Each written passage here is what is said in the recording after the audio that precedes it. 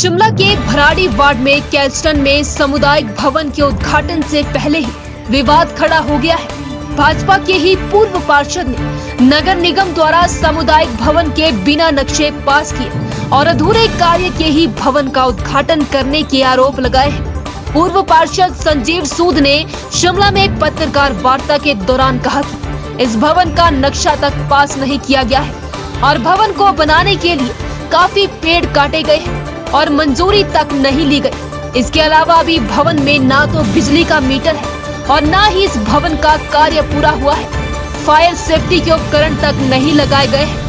ऐसे में लोगों की जान के साथ खिलवाड़ किया जा रहा है। गाड़ी में सामुदायिक भवन का उद्घाटन होने जा रहा है। तो अभी कुछ महीने पहले ही मैंने यहाँ पे इसका उद्घाटन हो, इसके लिए आरटीआई मैंने नगर निगम और पीडब्ल्यूडी से मांगी थी। जिसमें चौंकाने वाले मुझे तथ्य मिले।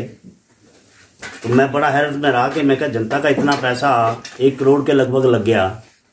और नगर निगम और पीडब्ल्यूडी दोनों के पास इसकी जानकारी कुछ नहीं मिली। नगर निगम से जब जानकारी ली, उनसे पूछा, कहते हैं हमारे पास कुछ नहीं, हमारे पास सिर्फ़ ये है कि हमने एक करोड़ के लगभग पीडब्ल्यूडी विभाग को इस समय दिया है।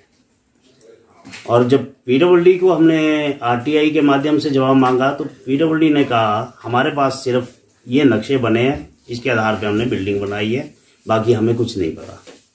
ना वो नक्शे पास है, ना उसमें कोई स्टैंप लगी है, और उसके बावजूद एक करोड़ रुपया नगर निगम ने दे दिया।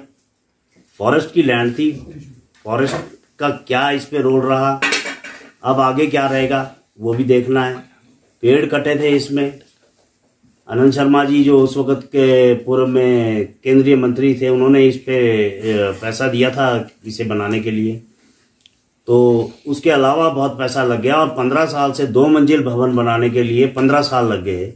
और जब अब कागज़ मिले, इसमें कुछ नहीं मिला और मेन अभी जैसे इसमें फायर कंपोनेंट नहीं लगे, कोई कल को हादसा होता है या बिजली पानी के मीटर नहीं लगे हैं, आप उद्घाटन किस चीज़ का कर रहे हैं? और मेन ये है बिना कंप्लीशन के आप कर ही नहीं सकते इसको।